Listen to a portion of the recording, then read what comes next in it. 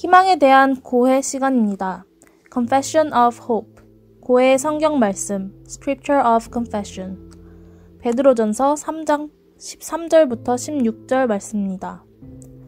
만약 여러분이 늘 선한 일을 하고자 애쓴다면 아무도 여러분을 해치지 못할 것입니다.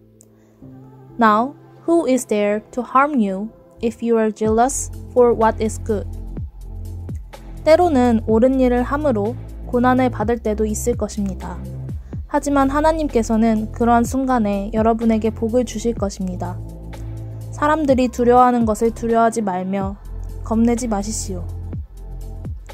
But even if you should suffer for righteousness' sake, you will be blessed. Have no fear of them, nor be troubled. 마음속에 그리스도만 거룩한 주님으로 모시십시오.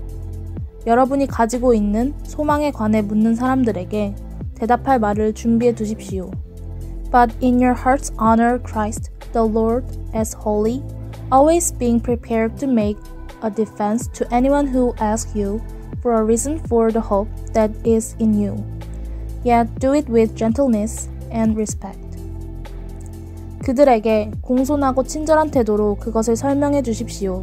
늘 바르게 살아가십시오. 그러면 그리스도 안에서 선하게 살아가는 여러분을 헐뜯는 사람들이 도리어 부끄러움을 느낄 것입니다. Having a good conscience so that when you are slandered, those who revile your good behavior in Christ may be put to shame. 성령께서는 예수님의 사랑의 사명을 이루는 데 주력하는 관계들을 축복하시고 강화시키심을 기억하십시오.